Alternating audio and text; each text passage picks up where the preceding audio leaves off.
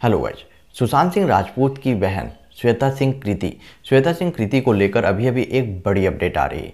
जैसा गई इससे पहले भी मैंने आप लोगों को बोला होगा या बहुत सारे लोग भी इस चीज़ पर सवाल उठाते हैं कि आखिरकार सुशांत सिंह राजपूत की जो बहन हैं या उनके जो फैमिली मेंबर हैं, आखिरकार वो लोग पब्लिक के सामने क्यों नहीं आते? और सबसे बड़ी बात, वो जो है ओपनली ये बात क्यों नहीं बोलते कि सुशांत सिंह राजपूत का मर्डर हो चुका है, उस पर छानबीन की जाए और उसको जल्द से जल्द सुशांत सिंह राजपूत को जस्टिस मिले। उसके पीछे का क्या रीज़न है, इस वीडियो में आप समझ जाएँगे।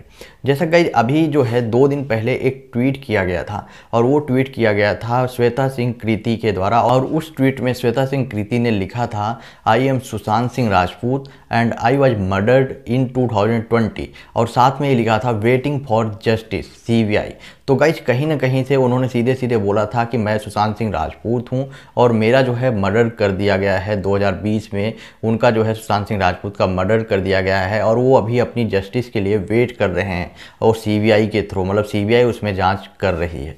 तो कहीं ना कहीं उस ट्वीट का बहुत बड़ा मतलब था क्योंकि बहुत सारे लोग जो ये फालतू बहुत सारी न्यूज़ सामने ला रहे थे कि सुशांत सिंह राजपूत जो हैं, वो अलाइव हैं, अभी ज़िंदा हैं, क्योंकि उनकी सिस्टर जो है पब्लिक के सामने आके ये नहीं बोलती हैं। तो उनके गाल पे एक तगड़ा तमाचा था कि श्वेता सिंह कृति ने खुद ही ये चीज़ कंफर्म कर दिया कि हाँ सुशांत सिंह राजपूत की जो डेथ हो चुकी है, उनका मर्डर हुआ है और उनकी छानबीन चल रही है सीबीआई के द्वारा और जल्द से जल्द उनको जस्टिस मिलना चाहिए। सुशांत सिंह राजपूत की बहन जो है, श्वेता सिंह कृति ने ये ट्वीट किया था। लेकिन सबसे बड़ी बात जो गाइज़ अब सामने आ रही है, इस ट्वीट को आज जो है डिलीट कर दिया गया है। बहुत ही ज़्यादा हैरान कर देने वाली न्यूज़ सामने आ रही है कि इस ट्वीट को डिलीट कर दिया गया है। ना कि सिर्फ़ इस ट्वीट को, बल्कि पिछले आठ से नौ दिन में जो भी ट्वीट श्वेता सिंह कृति ने किया था, वो सारे के सारे ट्वीट वन बाई वन करके डिलीट कर दिए गए हैं, जिसमें सुशांत सिंह राजपूत से रिलेटेड श्वेता सिंह कृति ने चाहे पब्लिक को प्रमोट करने की बात की हो, चाहे पब्लिक को मोटिवेट करने की कोशिश की हो,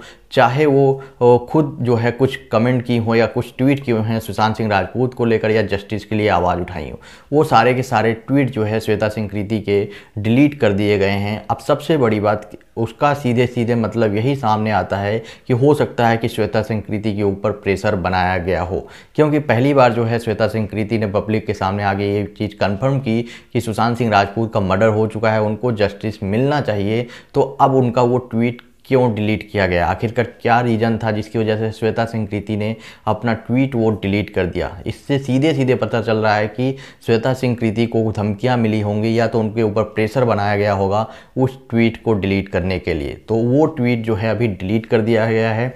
मैंने खुद उस ट्वीट को पढ़ा था, लेकिन आज जो है, उस ट्वीट पर आप सोशल मीडिया पर जाएँगे तो कोई भी ट्वीट उनका नहीं दिखाया जाएगा। और अभी उनका जो लास्ट ट्वीट दिखाई दे रहा है, वो लास्ट ट्वीट 11 मार्च का है इलेवंथ मार्च का है। तो गाइज़ कहीं ना कहीं सीधे सीधे पब्लिक की तरफ़ से भी सोशल मीडिया पे भी काफ़ी ज़्यादा बवाल मचा हुआ है कि आखिर क्या रीज़न है जो श्वेता सिंह कृति ने अपने चैट्स और ट्वीट्स डिलीट किए? क्या उसके पीछे किसी ने उनके ऊपर प्रेशर बनाया था? क्या उनको फ़ोन करके उनको जान से मारने की धमकी दी गई थी? या जानबूझ के उनको किसी ने ये चीज़ें बोली, उसकी वजह से उन्होंने ये सारा का सारा काम किया है? तो गाइज़ आपका क्या ओपिनियन है इसमें श्वेता सिंह कृति को लेकर? आप अपना ओपिनियन कमेंट बॉक्स में बताएँ और वीडियो को ज़्यादा से ज़्यादा शेयर करें।